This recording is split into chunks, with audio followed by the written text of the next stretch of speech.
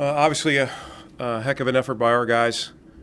Uh, that uh, you know, similar to, to, Pittsburgh, it was a tale of two halves, especially defensively. Uh, but, but, it's the NFL. We found a way to, to make enough plays uh, at the end to win it. And just to me, it speaks to the character of the men in the room, uh, the resiliency, the poise, the focus.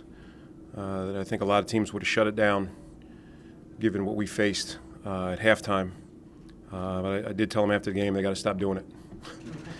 I said, I, I have an EKG scheduled for tomorrow. I don't know, my heart, heart can take many more of these, but uh, it's a heck of a win for us, like I said, uh, and, and, we're, we're hopeful that it'll, it'll provide us with a boost uh, coming back home uh, against, against the Steelers. Believe in the scheme, believe in what we're doing, uh, get the guys in the right position, and then, then it's a two-way street. They got to they got to make plays, and it's and they responded. I, I thought the players handled themselves. It was similar to the Pittsburgh locker room.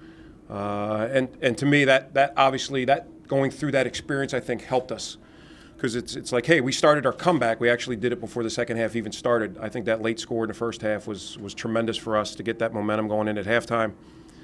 Uh, and even though we ended up, I think we just kicked a field goal the first drive of the second half. Those 10 points, I think, really really set us up. Got the belief back, uh, and, and the guys on defense. Like I said, there was no major major uh, changes to the call sheet. Uh, we, we just went out and executed better. And, and, punt block's huge. I mean, that really eliminated uh, like three guys on the headset said it at the same time, like, "Whoop, there goes your two-point conversion."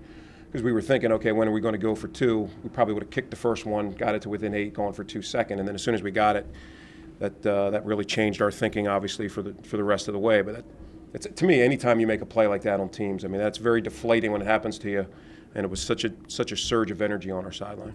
Yeah, I think that was important that uh, for Ben to come back, and it was good for, for his confidence. I mean, he he uh, he did a real nice job you know, pressing the running lanes in the zone scheme and getting his shoulders squared up, and and uh, and then I thought our backs did a good job of of uh, protecting the football. I mean, this was a team that hit hard, they tackled low.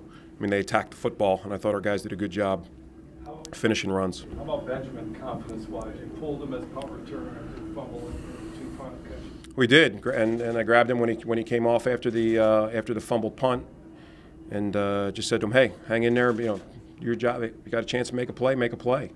And it's uh, it's obvious that he lacks confidence in the uh, in the punt return game, but for for a guy to, I mean, that just to me is a, is a microcosm of the team. Here's a guy that had something bad happen to him, and, and he didn't go in the tank. Here, here he bounced back and, and made uh, two plays, including the game winner. Mike, uh, Brian Hoyer talked last week about weathering the storm on the road, how important that is. What can you say about how the, the way he held it together and performed? He did, and I, I think his poise, I, I, think, was was pivotal for us. I just think that calming influence in the huddle, that he was he was never out of sorts. When the guys came off on the sideline, they knew what the adjustments were. When they missed a play, they, you know, the guys never turned on each other. The O never turned on the D. And, and, that's what being a team is about. And for us to have that type of leader, that quality of leader on offense, is, is one of the reasons we are where we are.